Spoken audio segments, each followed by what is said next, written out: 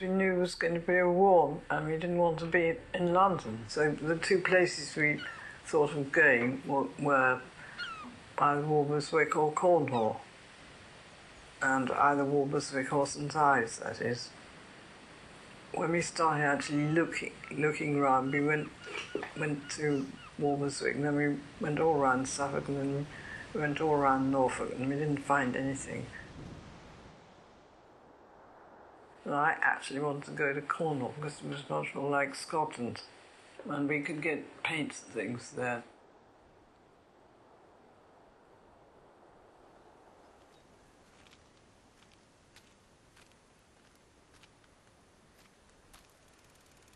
I mean, we were walking along Haynes Walk and came on this fairly nice house, and there was a maid leaning out of the window.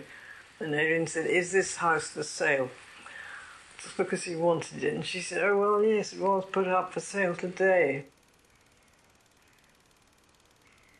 1939. We bought the house and moved in on April the 3rd. The house had been built by the architect George Kennedy. It was made of honey-coloured granite with a white lime-washed roof. From the balcony in front you could see over the bay. We hung Wallis paintings in the passages and bedrooms. In the sitting room we had a white relief by Ben Nicholson.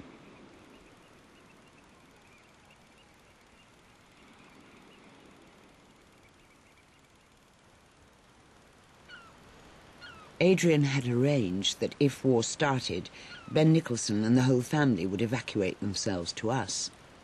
We were expecting a visit from Eddie Sackville West, but he never came.